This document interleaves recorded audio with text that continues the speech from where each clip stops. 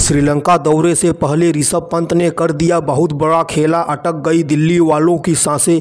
जिसका डर था, वही हुआ। आखिरी दम तक लड़ते रहे सौरभ गांगुली। आँखों में आँसू लेकर ऋषभ पंत ने छोड़ा दिल्ली का साथ। पर्दे के पीछे से धोनी ने रची थी बहुत बड़ी साजिश। बीसीसीआई भी हो गई धोनी के मास्टरमाइंड की दीवानी।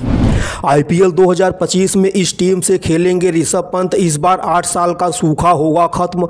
क्या किंग कोहली भी छोड़ेंगे? आरसीबी का साथ रातों रात हो गया उलटफेर। अनहोनी को भी होनी कर देने वाले महेंद्र सिंह धोनी को आखिरकार मास्टर माइंड धोनी क्यों कहा जाता है?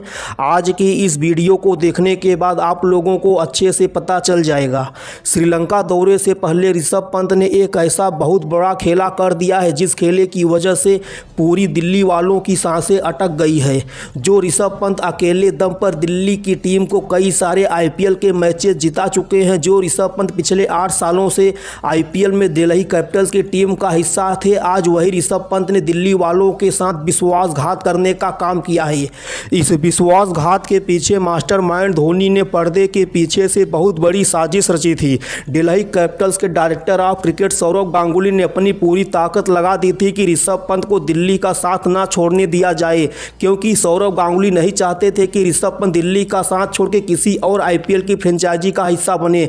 मगर मास्टरमाइंड धोनी के सामने सौरभ गांगुली की एक भी नहीं चलती है और ऋषभ पंत ने दिल्ली का साथ छोड़ के चेन्नई की तरफ़ से आईपीएल खेलने का फैसला कर दिए हैं। रिपोर्ट्स की माने तो दोस्तों, आईपीएल 2025 में ऋषभ पंत चेन्नई सुपर किंग्स की तरफ़ से खेलते हुए नज़र आएँगे। लेकिन अभी तक यह नहीं कंफर्म हो पाया है कि क्या आईपीएल 2025 में सीएसके की तरफ़ से ऋषभ पंत ऋतुराज गायकवाड़ की ही कप्तानी में खेलते हुए नज़र आएँगे या फिर सीएसके की फ्रेंचाइजी ऋषभ पंत को ही सीएसके का कप्तान बनाएगी? क्योंकि दोस्तों महेंद्र सिंह धोनी की उम्र इस समय तिरालीस साल की हो गई है और ऋतुराज गायकवाड़ ने आईपीएल 2024 में उतनी अच्छी कप्तानी नहीं करी थी। यह भी हो सकता है कि ऋषभ पंत को सीएसके का कप्तान बनाया जाए।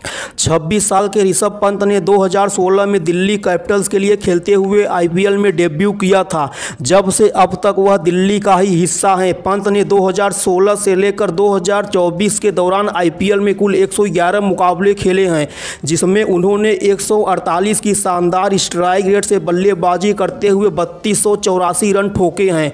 ऋषभ पंत के बल्ले से इस दौरान आईपीएल में एक शतक तो वहीं पर 18 अर्धशतक देखने को मिले हैं।